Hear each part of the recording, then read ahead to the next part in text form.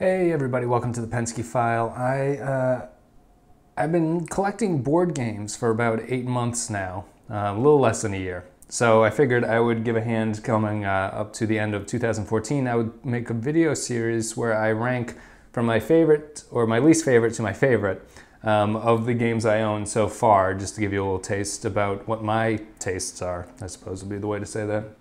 Um, one thing about the board game hobby is people love to make lists. I think Board Game Geek uh, is probably responsible for that just because they have the geek lists and everything. But board gamers love to make lists where they rank things. Video gamers don't really do that for whatever reason. I think they should. It's a nice. It's always nice to have the end of the year best of in those lists, and you read the countdowns, and then you disagree really strongly with everything that that person has written and call them an asshole.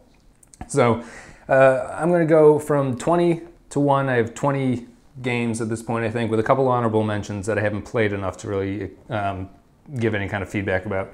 So I'll go from my least favorite to my favorite. I did this the Tom Vasel way. I just made little um, post-its with a game on each one, and I ranked them out whether I'd you know I'd compare two, say I'd rather play this one than this one, and eventually they came into some kind of order um, that I fine-tuned after that was done. So that's how this was determined. So we'll start with the honorable mentions coming up now. All right, so the first honorable mention is, as all the others are, I bought these three games, these three honorable mentions, I, and I'll say that a couple thousand more times before the video's over. I bought these at a Cool Stuff uh, Inc. sale. So I don't know if these are on sale, but you have to get to $100 to get the shipping for free, which is uh, the great scam of the modern century. This is the first one, Dixit. So these aren't ranked, but let's get that in the camera. Dixit is a, uh, a card game, kind of creative thinking. Everyone gets a bunch of cards and you throw one out and describe it and everyone puts out a card face down. They get shuffled together, and the people have to guess who they thought the card was of the person who said the clue. And you get points for how many people guess your clue, guess other people's, and stuff like that. It's a cool game. Comes with a bunch of cards. Um, I've only fiddled around with it once. I've barely gotten the game in with it, so I don't really have much to say. But it's very creative. Um, it would probably be good for mixed groups of people who aren't too deep into gaming. So it's fun for that. Fun for creative types and teacher types and things like that. But yeah, Dixit. Um, that's honorable mention number one. Okay, honorable mention number two, Castles of Burgundy. This is a highly ranked game on Board Game Geek, and I played a couple games of it, two player. Uh, let me just put that down right there like that. I played a couple games of this. It supports up to four. It's a um, tile placing Euro type game. I won't go into too much detail about what these games are. People probably know them. This is more about the ranking. Um, I played a couple games. I like this game. Uh, the artwork is kind of garbage, I think. It's the kind of game, it's like Terra Mystica. I think it's called Terra Mystica. Um, I'm never incentivized to play it just because I don't like the way that the art looks. It's very drab colors. Um, the tiles are hard to tell when they're on the board what's on there if you're just looking very quickly.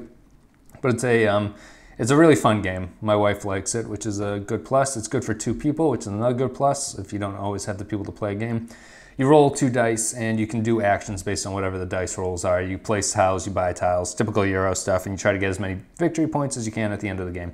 And it's Castles of Burgundy. It's ranked very highly on Board Game Geek, and I can see why. It's probably better with fewer players, I would assume. I would think when it gets up to four players, it's not as good, but I've only played a two player game, so it's hard to say. But it will certainly, when I do this list again next year, this will be moved into probably the top 10, just about how much I like and how versatile and easy to play it is. So I'd recommend getting this one. Ignore the art. Took me a while to ignore the art. Every time I look at a picture, I'd be like, I do not want to buy that game.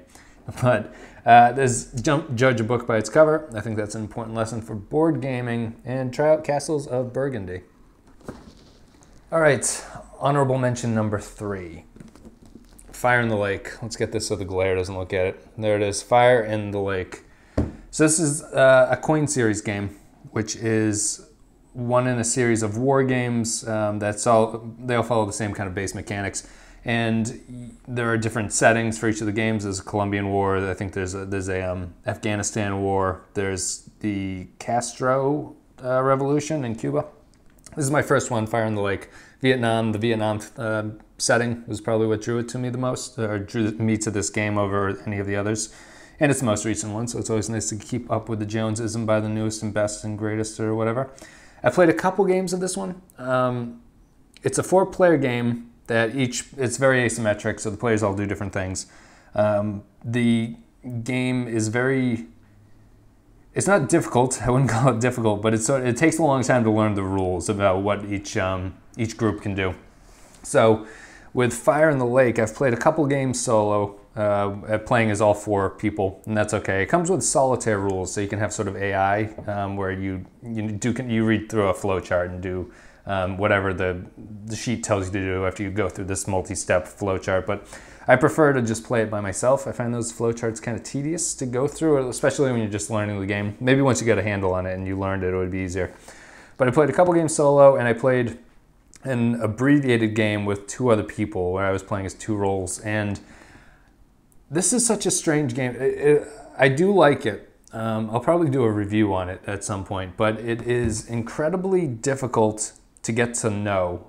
It's the kind of thing um, the people I was playing with were probably a little bit too casual. It was a lot of a lot of people have the um, the paper open and sort of looking at it like this uh, for the, the hour or two that we actually played. And it's not that I don't think people enjoyed it, but it's a lot to absorb.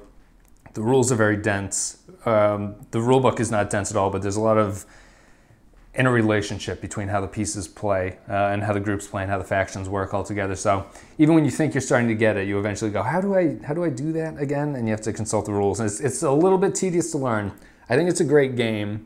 I would love to get a group, dedicated group that would actually play it every once in a while. I don't know if I have that group, so I don't know that affects the ranking somewhat because if I can't play it with people, it's difficult. It's a fantastic game and I like it.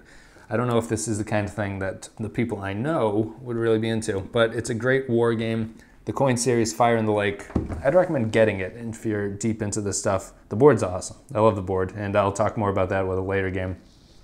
This is, um, the artwork is fantastic. But that's it, Fire in the Lake. We'll move on to number 20 on the list. Okay, number 20.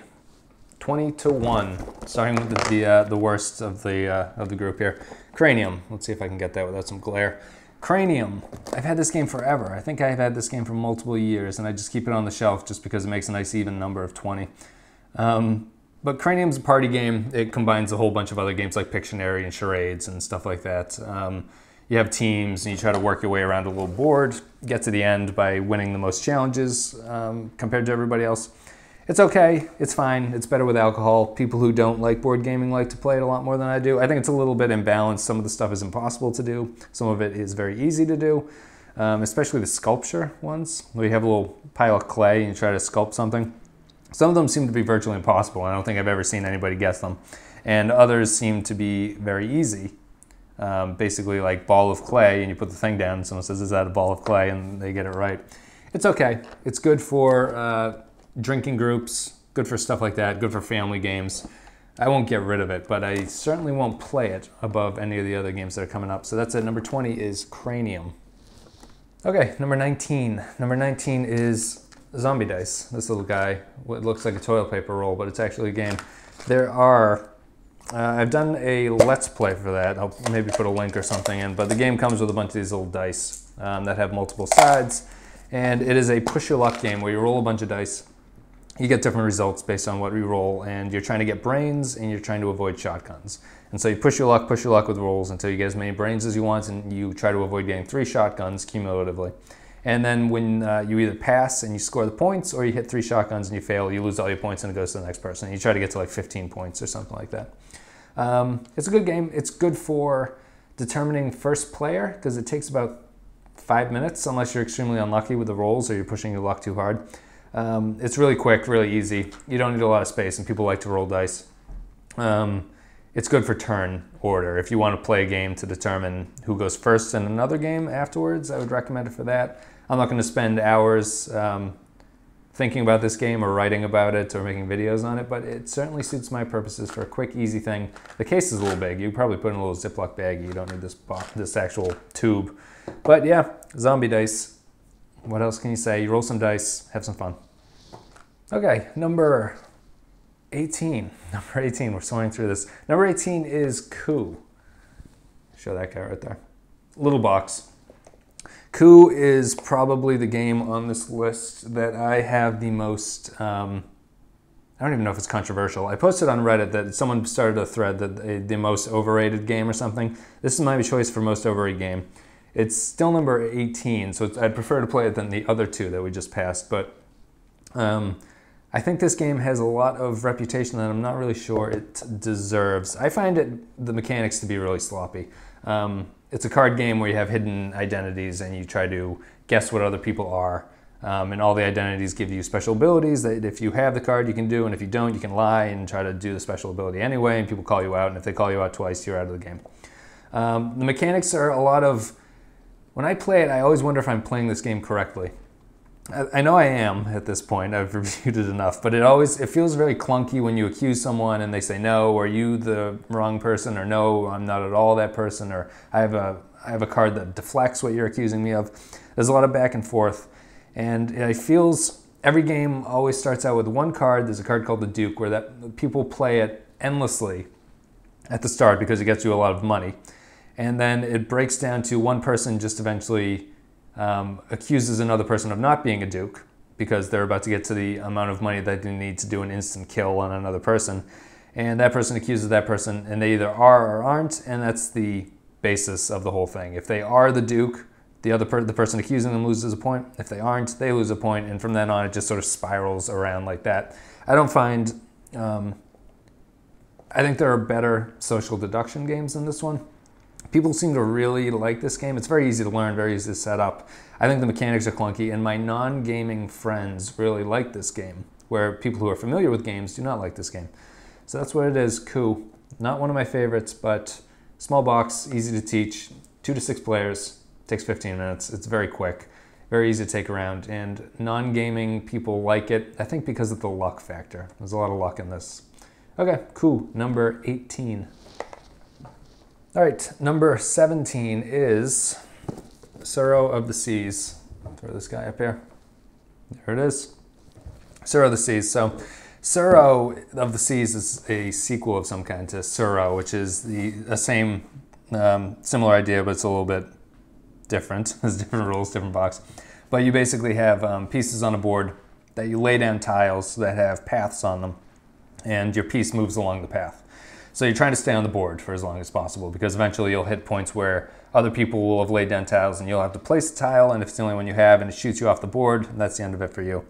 Um, Tsuro of the Seas takes that exact formula and adds dragon tiles, or their daikaiju or something that they call them. Um, they add these tiles to the game that are uh, related to dice. You roll dice and it randomly either moves, puts dragons down or moves them around the board, and they sort of crush or destroy tiles that they move past, and, uh, including ones that people are already on. So it's a little bit of randomness in addition to trying to avoid the dragons, as opposed to the original Tsuro where you're just trying to stay on the board. This one's a little bit more random with the dragons coming out and moving around, taking people out. And this game is I'm not a huge fan of it. It's two to eight players, plays a lot. It's very easy to learn, very simple, but the luck factor is so big on this. And I feel with less people, the game takes too long. With more people, it's a little bit better. But playing this with two people is a very drawn out affair where the dragons always just get you in the end. And it, it comes down to a dice roll. You roll badly, and that's the end of the game. Um, I'd probably, I've never played the original Tsuro. You could play with this board and just take out the dragon pieces. Um, I would rather play the original, I think. It seems like a more pure sort of strategy game where the dragons add a lot of luck into this. I'm not a big fan of that. So that's it. Tsuro of the Seas. There he is. I do like the box art though. It's cool. Nice color. Let me get that actually on the camera. There's so much glare. So much goddamn glare. that's it. Tsuro of the Seas. Number 17. All right. Number 16 is a big favorite. It's a game I played a very long time ago. Ticket to Ride. This is probably one of the modern classics that um, you can get anybody who's not into board gaming to play. Um, I played this a long time ago before I started getting into the board gaming stuff. A friend or roommate had it. We played a lot of games of this. I liked it back then. And everyone who has not gotten into board games likes this game just because of how easy it is to absorb. There is strategy, but it's not overwhelming. You can't really get screwed. It's hard to tell how well you're doing against other people sometimes. Um, people can block each other, but it's not really that intense. So it's a trainly uh, tile game where you are trying to connect, you're trying to build cards in your hand that complete sets of colored tracks along the map, and then you put the trains down. You score points for putting trains, and you score points for connecting certain cities that you have on other cards that are secret. So it's about collecting card color, cards of the same color, putting down trains, connecting cities, and you score points. It's very easy, and um, it's a great gateway game. It is that. I, I, I think it's a fantastic way to get people to play. It's easy with family and all that. I don't really like to play it all that much. Um, we've played it enough. I think the strategy is a little bit weak. I don't like how little you can interact with people in terms of um, you don't really know what people are doing. So if you block someone, you usually do it by accident. Unless I'm sure if you're really into the game, you could probably memorize the route cards or something like that, but I am not going to be doing that. So you don't really have a strategy of how you can block people. It's really just you're collecting cards and trying to just do whatever you can, and whoever gets the luckiest sort of draw is eventually going to win the game, which is fine. I think it takes a little bit too long for that, for how um, simple the game is. I wish it was like 25% shorter. Um, this is the Europe map. There's a whole bunch of maps you can get. It's good. It's fun. It's easy. It's not complicated at all, so you can play and talk and not really lose concentration of what's going on. I just am not a huge fan of the lack of interaction that you have going here and the fact that there is sort of a strategy to just collecting cards at the start and just collect, collect, collect, and then when the game is almost over, start laying down some track um, which seems kind of silly to me and doesn't seem like a fun way to play the game, but it is viable and it works out exactly the same as the um, the other method of collecting cards and then putting down a track collecting cards. So that's it. It's a great gateway game, a modern classic, and I can't really complain about the game. I just don't like it. But that's it. Ticket to Ride.